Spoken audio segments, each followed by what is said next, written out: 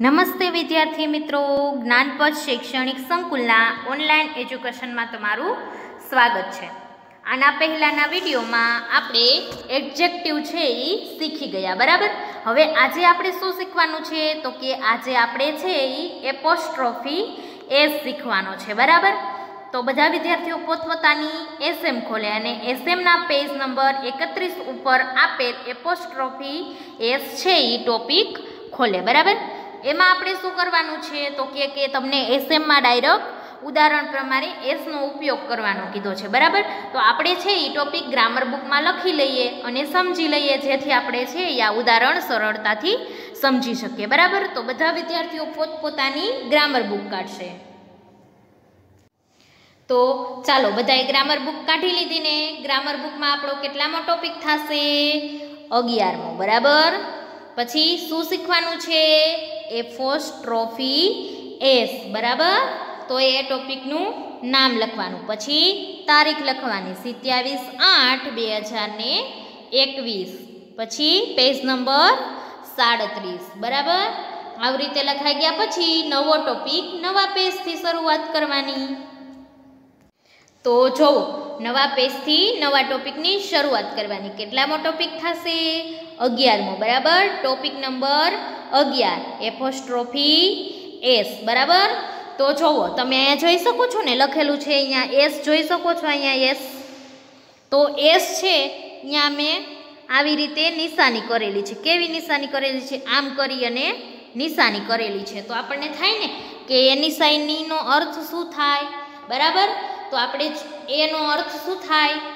Apostrophe S છે એસનો અર્થ શું થાય? તો કે પહેલાં તો એ નિશાને શું કહેવાય? એપોસ્ટ્રોફી એસની નિશાની છે, બરાબર? પછી એનો અર્થ શું થાય? તો કે નાનું ની નો, આપણે જ્યારે દર્શાવવું હોય કે આ વ્યક્તિની છે, આ વ્યક્તિની વસ્તુ છે, આ વ્યક્તિનું છે, એવું દર્શાવવું હોય ત્યારે આપણે આ એફોસ્ટ્રોફી એસનો ઉપયોગ કરીએ, બરાબર? તો હવે ચાલો જોઈએ આપણે એનો ઉપયોગ. તો કે કે ક્યાં ઉપયોગ થાય? તો કે વ્યક્તિનો વ્યક્તિ સાથેનો સંબંધ કે વ્યક્તિનો વસ્તુ સાથેનો માલિકીનો સંબંધ દર્શાવવા માટે એફોસ્ટ્રોફી એસ વપરાય છે. બરાબર? જુઓ તમે નિશાની જોઈ શકો છો ને પહેલાં નિશાની કરેલી છે અને પછી એસ છે. બરાબર? એને શું કહેવાય? Apostrophe S. એનો ઉપયોગ ક્યાં થાય? તો કે વ્યક્તિ વ્યક્તિ સાથેનો જે સંબંધ હોય અથવા તો વ્યક્તિનો વસ્તુ સાથેનો જે માલિકીનો સંબંધ હોય, માલિકીનો સંબંધ એટલે કે આ વસ્તુ મારી છે, મારી માલિકીની છે, બરાબર? એવું દર્શાવવું હોય ત્યારે શું થાય? માલિકીનો સંબંધ, બરાબર? તો એ માલિકીનો સંબંધ દર્શાવવા માટે આપણે એફોસ્ટ્રોફી એસનો ઉપયોગ કરીએ, બરાબર? પછી કેવી રીતે? તો કે વ્યક્તિ, પ્રાણી કે પક્ષીના અવયવો દર્શાવવા પણ નામની સાથે એસ જોડવામાં આવે છે કે આ પ્રાણી આવું છે, આ વ્યક્તિ આવું છે, વ્યક્તિના ગુણ આવા છે, બરાબર? એવું આપણે જ્યારે દર્શાવવું હોય ત્યારે આપણે જે એફોસ્ટ્રોફી એસ છે એનો આપણે ઉપયોગ કરીએ, બરાબર? તો ચાલો, હવે આપણે એના ઉદાહરણો જોઈએ કે જેથી કરીને તમને લોકોને વધુ ખ્યાલ આવે. તો જુઓ, અહીંયા એના ઉદાહરણો છે, બરાબર? ઉદાહરણને ઇંગ્લિશમાં શું કહેવાય? એક્ઝામ્પલ્સ બરાબર? તો પેલું ઉદાહરણ જુઓ અહીંયા. શું આપણને પહેલાં તો સાદું જ વાક્ય આપેલું છે કે ધીસ ઇઝ રાહુલ અને કાઉન્સમાં શું આપેલું છે? બાઇસિકલ બરાબર?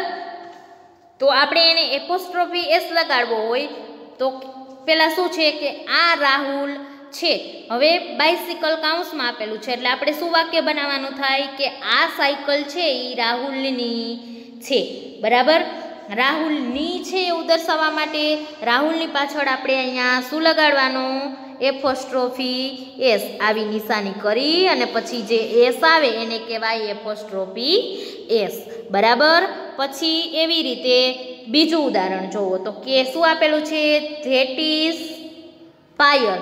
અને કાઉન્સમાં શું આપેલું છે? મધર. તો કે કે તે પાયલ છે અને મધર. બરાબર? કાઉન્સમાં એટલે માતા. તો આપણે શું બનશે? કે તે પાયલની માતા છે. પાયલની. બરાબર? ની આવ્યું એટલે આપણે એપોસ્ટ્રોફી એસનો ઉપયોગ કરવાનો.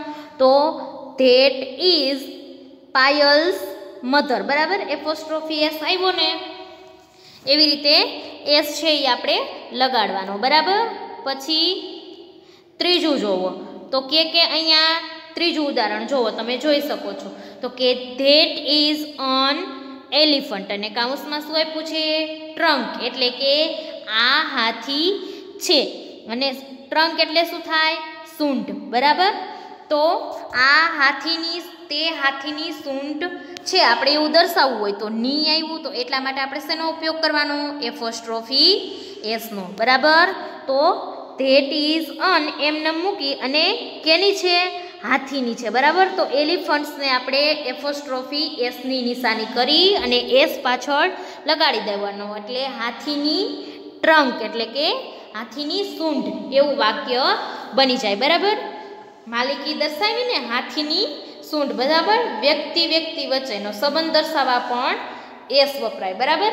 તો આપણે આગળમાં જોયું ને કે પાયલના મમ્મી અથવા તો માતા, બરાબર? એ વ્યક્તિ વ્યક્તિ વચ્ચેનો સંબંધ થયો, પાયલ છે, એના માતા છે. એવું જોયું ને આપણે? બીજું ઉદાહરણ, બરાબર? હવે આગળ જોવો, ચોથું ઉદાહરણ. તો કે ધીસ ઇઝ માય ટીચર એટલે કે, આ મારા શિક્ષક છે, આ મારા ટીચર છે. કાઉન્સમાં શું આપેલું છે? પર્સ, બરાબર? પર્સ. તો આ ટીચરનું પર્સ છે, એવું દર્શાવવું હોય માલિકી, બરાબર? તો શું લાગશે? ટીચરને અહીંયા એસ લાગશે. પણ કેવો? Apostrophe S. બરાબર? આપણે જે સાદો એસ લગાડીએ તો બહુવચન થઈ જાય. બરાબર? એટલા માટે આપણે પહેલાં નિશાની કરી અને પછી એસ છે એ લગાડવાનો, જેને કહેવાય એફોસ્ટ્રોફી એસ. બરાબર? પછી આગળ જોવો પાંચમું ઉદાહરણ. તો કે ધેટ ઇઝ અ મંકી અને કાઉન્સમાં શું આપેલું છે? ટેલ ટેલ એટલે પૂંછડી. બરાબર? ધેટ ઇઝ અ મંકી કે તે વાંદરો છે. તો તે વાંદરાની પૂંછડી છે એવું દર્શાવવું હોય તો એપોસ્ટ્રોફી એસ. બરાબર? તો that is a monkey's tail. કેવી રીતે? તો કે મંકી છે એને એપોસ્ટ્રોફી એસ લગાડ્યું એટલે વાક્ય બદલી ગયું. બરાબર? કે આ મંકીની પૂંછડી છે. પછી છઠ્ઠું ઉદાહરણ જુઓ તો કે ધીઝ આર વિમેન બેગ્સ બરાબર? તો ક્યુ ધીસ આવી ગયું? બહુવચન આવી ગયું ને? વિમેન એટલે બહુવચન, આર એટલે બહુવચન ખબર પડી જાય ને? તો ધીસનું ક્યુ ધીસ આવશે? આ ધીસ આવી ગયું. જે ટોપિક પણ આપણે ભણી ગયા કે T H E S E E these આવે એટલે શું આવે? બહુવચન આવે. બરાબર? ધીસ આર વુમન્સ અને કાઉન્સમાં શું આપેલું છે? બેગ્સ. બરાબર?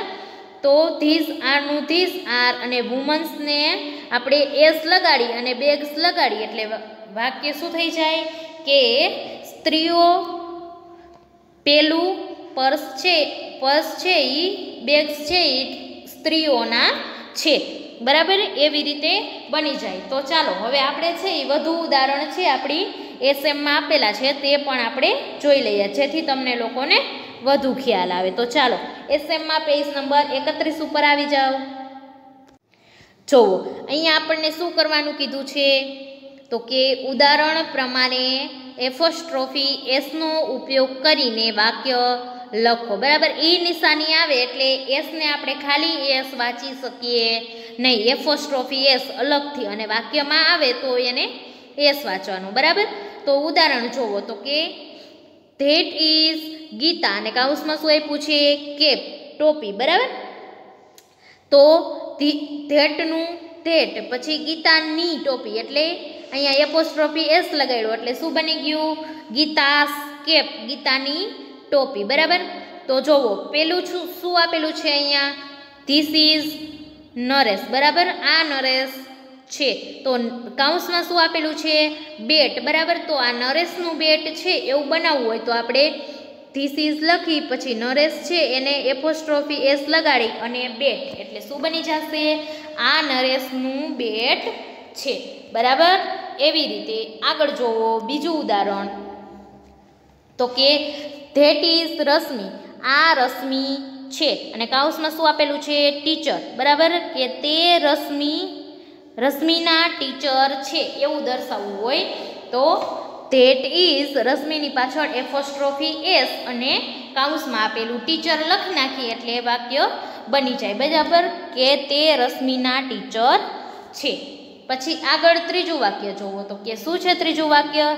This is Rohan. અને શું આપેલું છે કાઉન્સમાં લેગ એટલે પગ. આ રોહન છે. આ રોહનનો પગ છે. બરાબર? એવું કેવું હોય? ત્યારે આપણે ધીસ ઇઝ લખી અને રોહન છે એને એપોસ્ટ્રોફી એસ લગાડી અને લેગ આ રોહનના પગ છે. બરાબર? પછી આગળ જોવો. ચોથું ઉદાહરણ તો કે સી ઇઝ મીના અને કાઉસમાં શું છે? મધર. બરાબર? વ્યક્તિ વ્યક્તિ વચ્ચેનો સંબંધ દર્શાવવા આપણે એપોસ્ટ્રોફી એસ વાપરીએ ને, તો મીના છે. મીનાની માતા કોણ છે? મમ્મી કોણ છે? એવું દર્શાવે છે. બરાબર?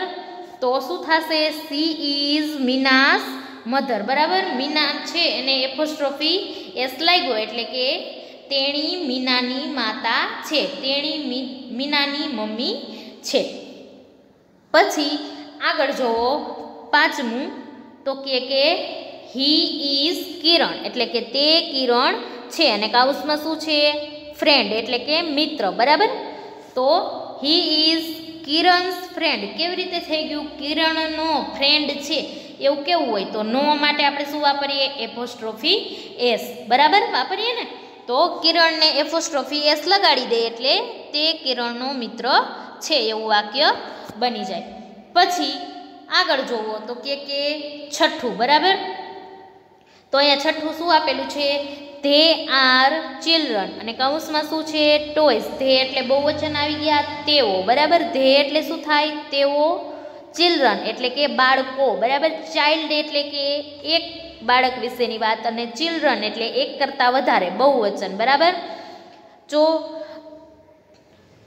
ટોયસ. બરાબર? કાઉન્સમાં આપેલું છે? તો ધેર આર ચિલ્ડ્રન છે, એને આપણે ચાઇલ્ડ છે, એનું બહુ વચન ચિલ્ડ્રન થાય, બરાબર? પછી બાળકોના રમકડાઓ છે, એવું દર્શાવવા માટે અહીંયા ચિલ્ડ્રન્સ છે, એને એસ લગાડી દીધું. એટલે શું થઈ ગયું? ચિલ્ડ્રન્સ ટોય, બરાબર? પછી સાતમું વાક્ય જોવો, તો કે ઇટ ઇઝ અ પેરોટ, અને શું આપેલું છે?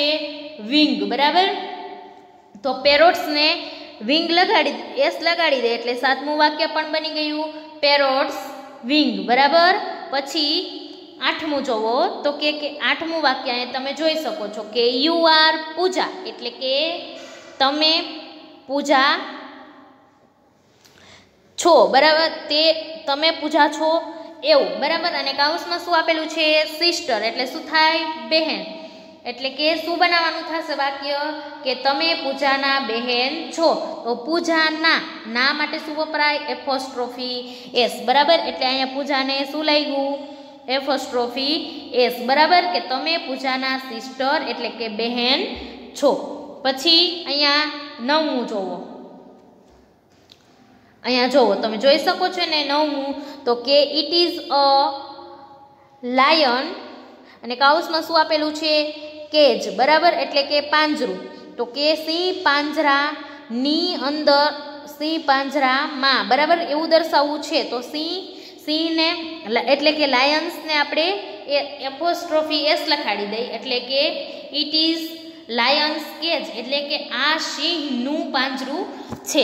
એવું એસ દ્વારા આપણે દર્શાવી શકીએ. માલિકી, બરાબર? પછી અહીંયા દસમું ઉદાહરણ આપેલું છે કે હી ઇઝ માય અંકલ અને કાઉસમાં શું આપેલું છે? સન પછી, તે મારા કાકા છે. બરાબર? તો નીચે આપણે અંકલને એસ લગાડી અને સન લખવાનું. બરાબર? તો શું થશે? તે મારા કાકાનો સન એટલે શું થાય? દીકરો છે અથવા તો એનો પુત્ર છે. બરાબર?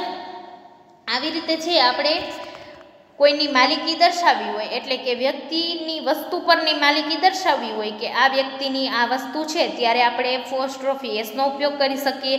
અથવા તો કોઈ વ્યક્તિ વ્યક્તિ વચ્ચેનો સંબંધ દર્શાવવો હોય કે આની બહેન છે, અથવા તો મિત્ર છે, અથવા તો પુત્ર છે, એવું દર્શાવવું હોય, ત્યારે પણ આપણે એફોસ્ટ્રોફી એસનો ઉપયોગ કરીએ. બરાબર?